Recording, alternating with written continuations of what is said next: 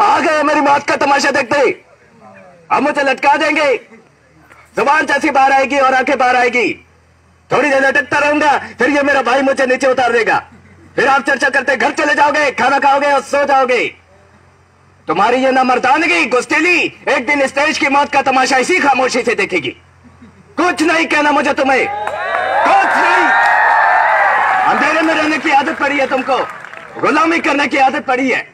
पहले राजाओं, महाराजाओं की गुलामी की, फिर अंग्रेज़ों की, अब जनगद्दार नेताओं के गुंडों की। धर्म के नाम पर एक तुम्हें बेकाते और तुम एक दूसरे के गले काट रहे हो। काटो। काटो। ऊपर वाला भी ऊपर से देखता होगा तो उसे शर्म आती होगी। सोचता होगा मैंने सबसे खूबसूरत चीज़ बनाई थी इंसान। इंसान।